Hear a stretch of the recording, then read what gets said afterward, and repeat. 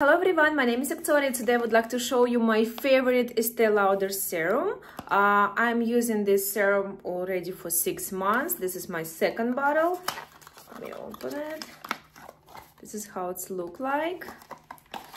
I love the condensity and it smooths my um, skin very well. Let me show you. Like, like that. This is perfect serum under your makeup or uh, for your night routine as well. It doesn't have any smell, feels so soft on skin.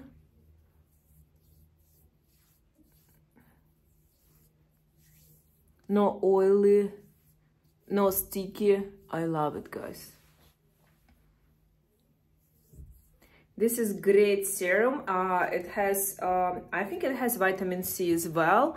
I will definitely recommend you can buy this product on Amazon.